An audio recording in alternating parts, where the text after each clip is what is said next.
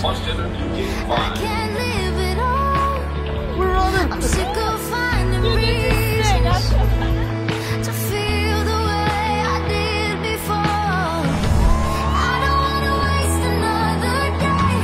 I don't wanna wish that you would stay. If I know I should let go, why do I hold on to you? I don't,